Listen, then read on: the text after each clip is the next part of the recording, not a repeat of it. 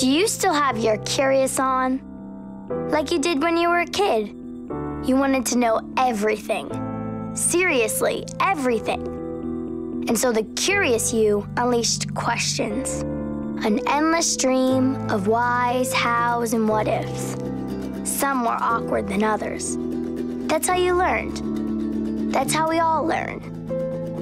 But then we grow a bit older and a bit more wise, and sometimes we lose that curious itch. Now, we're not saying asking is always easy, it takes courage.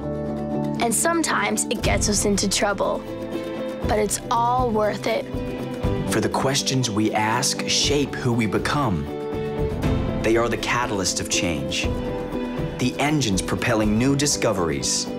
They keep our brains churning and our hands working so we can do things better, make things better, make things like this.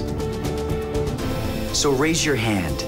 Even when asking doesn't reveal an answer right away, it will lead to more inspiring questions. Just remember to keep your curious on. Acer, keep asking.